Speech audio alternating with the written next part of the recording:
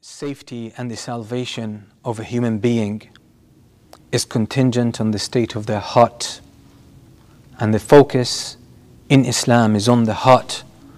Allah subhanahu wa ta'ala talking about the day of judgment, the day of resurrection. Allah summarizes what really counts there. Allah says, يوم لا ينفع مال ولا بنون إلا من أتى الله بقلب سليم on that day, nothing will avail a person or a human being, nothing will benefit that person, whether wealth, children, or any of the worldly uh, possessions or titles, etc. Nothing, none of that will benefit the person, except the only thing that will benefit the person is that the person comes back to Allah with a heart that is in good state, a heart that is healthy.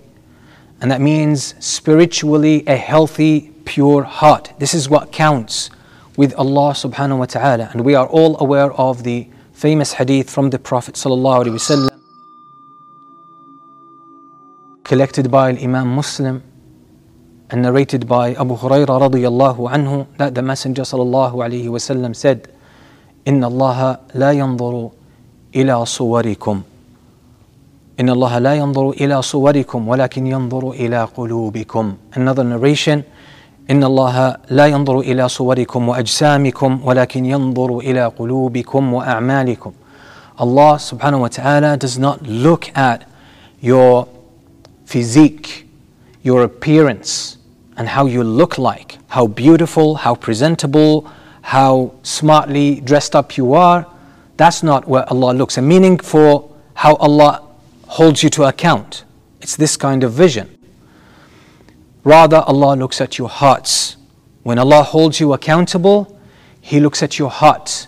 And by extension, at your deeds. Because your deeds, Allah created humans uh, in such a way that their deeds, their external deeds, are an extension of the state of their heart and of the actions of their heart.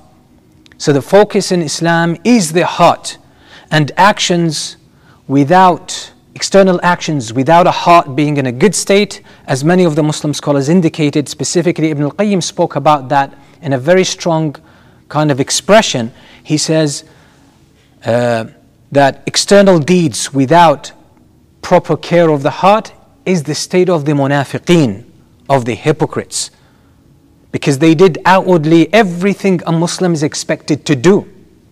And the difference, the main difference between the munafiqeen and the mu'mineen, the believers, is essentially in the heart. So it's important for every Muslim to take care of their heart, to make the heart, their heart their focus in terms of care, attention, and making sure that their heart is in a good state all the time, that it's connected to Allah subhanahu wa ta'ala. And the challenge arises from the, na- from the nature of this heart. The Prophet ﷺ describes the nature of, the, of this heart in the hadith collected by Ibn Majah in his Sunan. And it, the hadith was uh, classified authentic by the scholars of hadith. From Abu Musa al-Ash'ari radiyallahu anhu, the Messenger ﷺ says, مثل القلب مثل الريشة مثل القلب مثل الريشة تقلبها الرياح بفلاه The example or the similitude of the heart is that of a feather. The heart is like a feather being blown by the wind. It is turned over by the wind.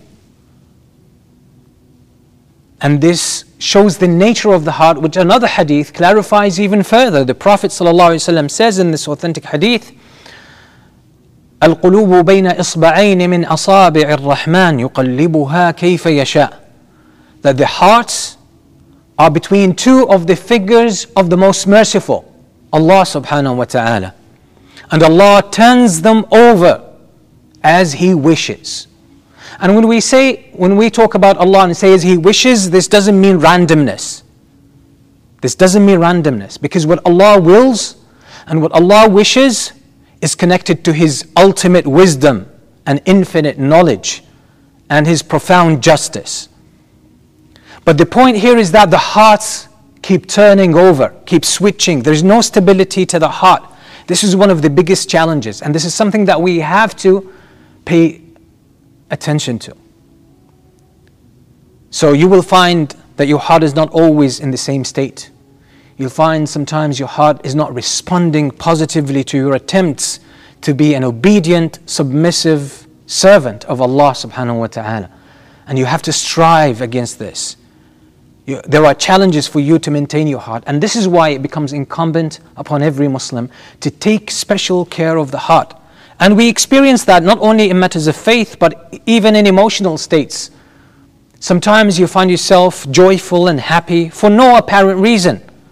And then an hour later, you find yourself in a very negative emotional state, seemingly without an obvious reason. That's because the nature of the heart is that it keeps turning over, it keeps flipping over. And this is why the scholar said, إنما سمي القلب قلبا لشدة تقلبه that the heart is given the name qalb it comes from the same root as turning over that's, that's, the, that's the root of the word because it keeps turning keeps changing and thus maintenance of the heart is, an, is, a, is a continuous business there is no way that you can just deal with your heart once and for all and get it over with it doesn't work with the heart. It's a continuous struggle until the moment you leave this world. And this is why it was narrated لا راحة لمؤمن إلا بلقاء ربه that there is no rest there is no sense of relief for a believer until he or she meets their Lord that's when it's over before that there is no safety Abu Bakr radiallahu anhu it was narrated from him he says, لا لا آمنوا مكر الله لا آمنوا مكر الله فإذا وضعت قدما في الجنة لا آمن حتى أضع الأخرى أو كما قال رضي الله عنه He said, I do not feel safe. I do not feel safe and I do not feel like in so much security and peace until even if I put place one foot in Jannah until I, pl- I place the other foot, so meaning I'm completely in Jannah. Why? Not because he doesn't trust Allah subhanahu wa ta'ala, but because he does not trust his own weakness. He does not trust the fact that he truly deserves to enter paradise. And he knows that entering paradise is a matter of a blessing from Allah. It's a fadl. It's a, it's a complete gift from Allah subhanahu wa ta'ala. No one earns paradise, as the Prophet wasallam said that none of you will enter paradise by means of their deeds. Not even the Prophet sallallahu himself. It's a matter of Allah allowing people, giving, gifting them paradise. So a believer should never feel safe about their faith. They're always questioning themselves. And that's why we, we, we can, this, this kind of understanding puts the statement of Umar al-Khattab in the, in the correct context. That when he asks Hudayfa ibn al-Yaman radiallahu anhu was named Aminu Sirri Rasulullah sallallahu alayhi wasallam that he is the carrier of the secrets of the Prophet sallallahu alayhi wasallam. Umar al-Khattab when he was the Khalifa he approaches Hudayfa ibn al-Yaman and he says As'aluka billah أعدني رسول الله صلى الله عليه وسلم من المنافقين I ask you by Allah did the Prophet صلى الله عليه وسلم include my name in the list of the hypocrites some Muslims get puzzled when they hear this. They say, Umar al Khattab, like, why is he having these doubts? Was he doubtful about himself? Was he doubtful about the mercy of Allah? Was, was he not aware that he was following the way of the Prophet? It was none of that. But it was his profound understanding of human nature that humans change. Humans change. And he does not feel, does not have any guarantee about his steadfastness until the moment of death. So he doesn't know. He doesn't know how he's going to end up. Not that he was doubting the religion that he was upon. He knew that he was following the guidance of the Prophet.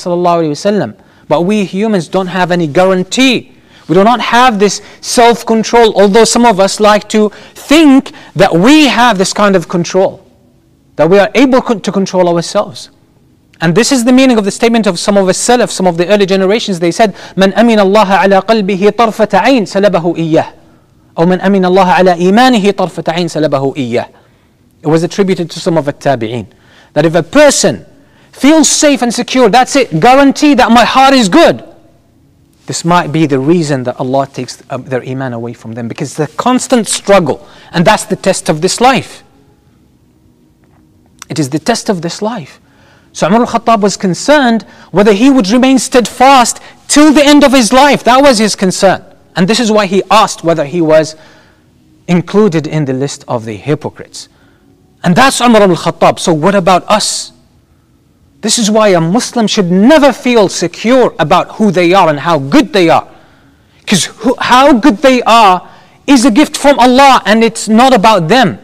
Nonetheless, we still have to strive to do our best. And Allah subhanahu wa ta'ala will not do injustice, will ne- never extend injustice to anyone. But it's a constant struggle that we have, we, all, we, all the time, we have to make sure that we take care of our heart. So your heart will be flipping, and that's normal. So the second issue here is that some Muslims they fear that one day they are enjoying their salah and they are present and they feel the closeness to Allah subhanahu wa ta'ala. But then the next salah or the following day, they don't feel it and they start questioning their iman.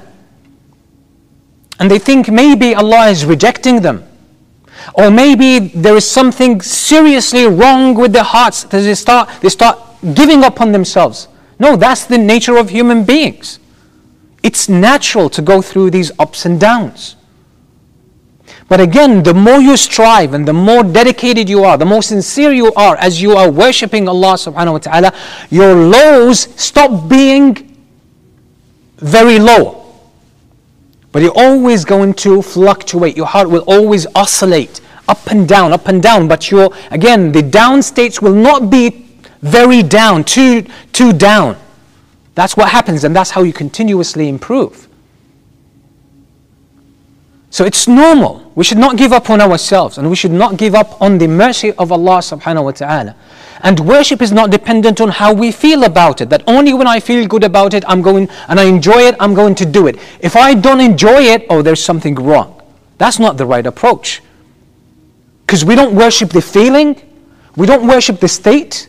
We are the slaves of Allah. We belong to Allah. And our life and our existence is about devotion to Allah. So we worship Allah regardless of how we feel.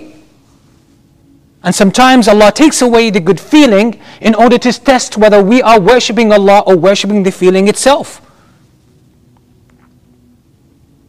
And that's how we take care of our hearts. You keep going no matter what. You keep making dua even when it doesn't seem to be answered. You keep making dua.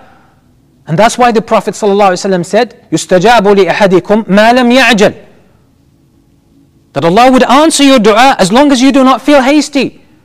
So he was asked, وَكَيْفَ يَعْجَلُ يَا رَسُولَ اللَّهِ He said, يقول دعوت ودعوت فلم يستجب لي فيدع الدعاء the person, the, the, the, the, haste that the Prophet ﷺ is referring to is that a person says, I made dua, I made dua, it was not granted, then the person gives up on dua. This is it because it doesn't seem to be answered according to our timetable, we think Allah subhanahu wa ta'ala is not responding to our dua. The thing with the heart is that you have to remain steadfast. How Allah responds, when He responds, it's none of your business. We're not in a position to judge or dictate what Allah subhanahu wa ta'ala does. That's the relationship between Allah and His creation. He's the master, He's the judge, and we are the slaves. We don't get we don't have a say. The only thing that we can do and we are meant to do is to choose Allah all the time. And do what Allah wants all the time, irrespective of how we feel or what we get from that. That's what submission is about. So as, as humans, we need to learn these things in order to manage our, manage our hearts well and keep them healthy. And we know it's, we should know and keep in mind that it is normal for your heart to oscillate. It's normal for your heart to flip over, to feel high level of iman at one level, at another time you don't feel it. And the Prophet ﷺ explained that in a hadith that we are going, inshallah, to talk about in the second part of this khutbah. أقول قولي هذا وأستغفر الله لي ولكم فاستغفروه.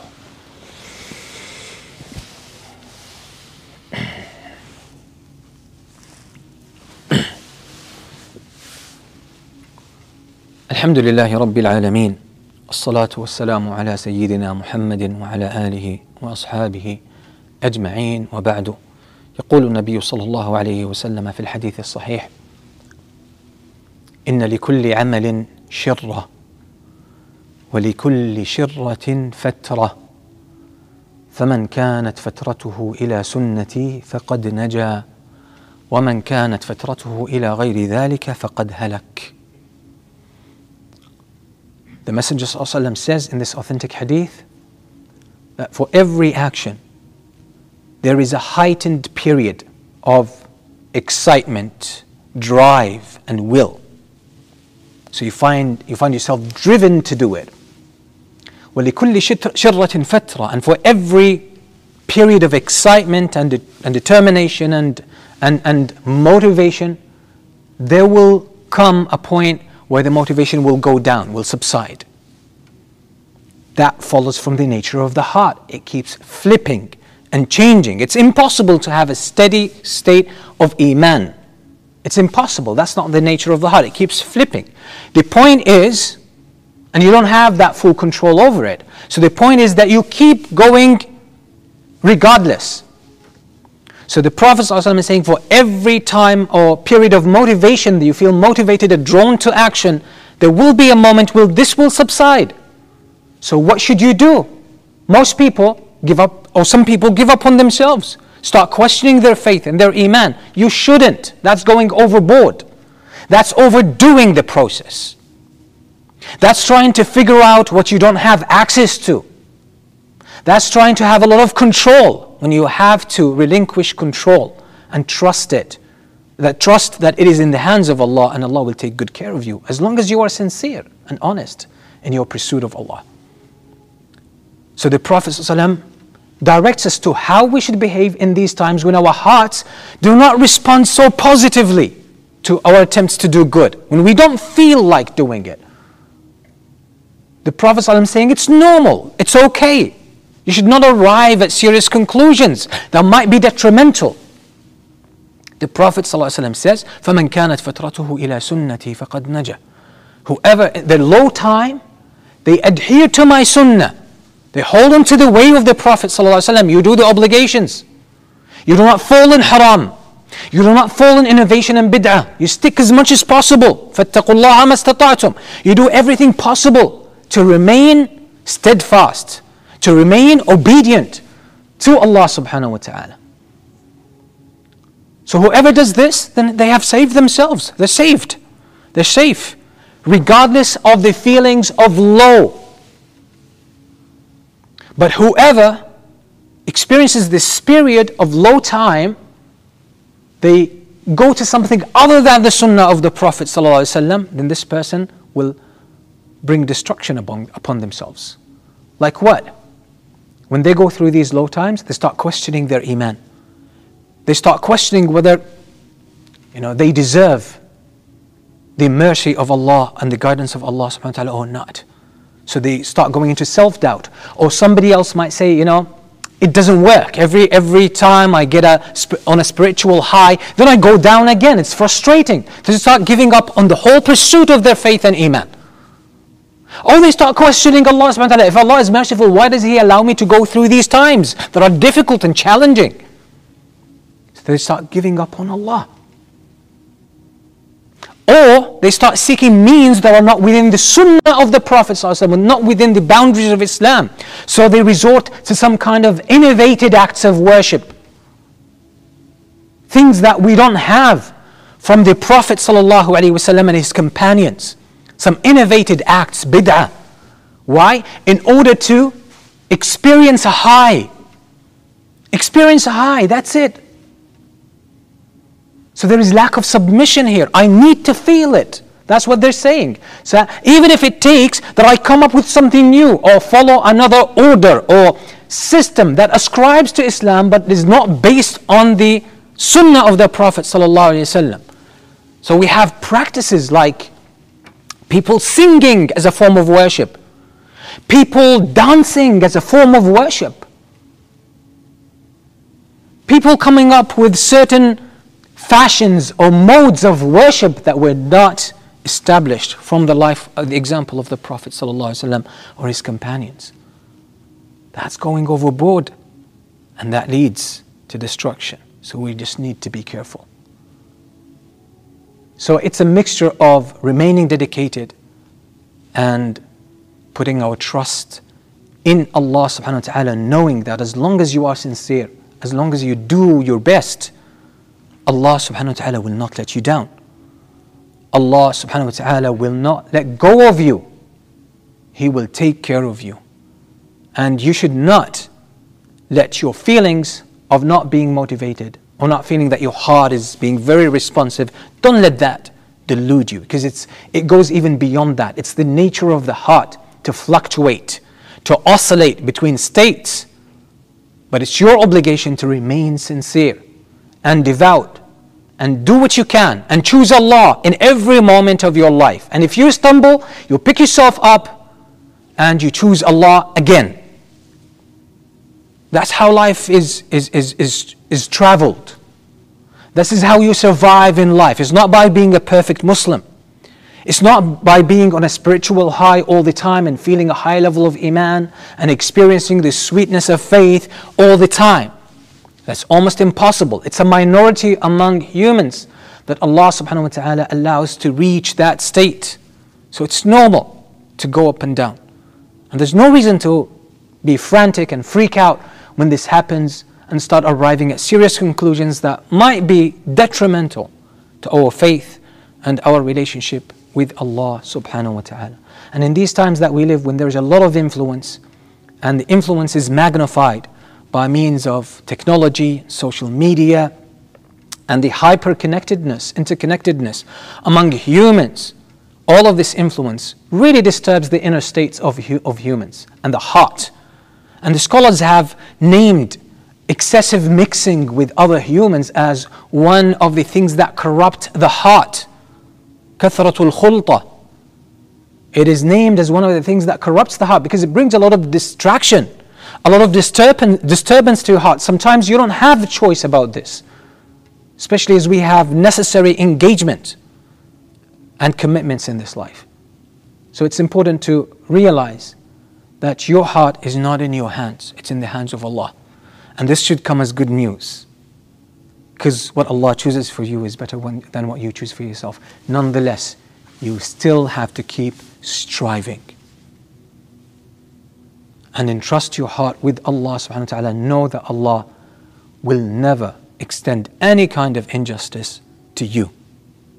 You should trust Allah subhanahu wa ta'ala in this matter. So we ask Allah to help us keep our hearts steadfast. And this is why the Prophet said in the hadith, and he, oh, he used to make this dua very, com, uh, very, very often, as Aisha radiallahu anha mentioned, that the Prophet used to say, يا مقلب القلوب والأبصار ثبت قلوبنا على دينك وثبت قلبي على دينك Oh Allah, you are the one who turns around the hearts and the sights. Make our hearts uh, steadfast, make them firm upon your uh, way, upon your the religion that you prescribed for humanity. So we ask Allah subhanahu wa ta'ala to keep our hearts firm.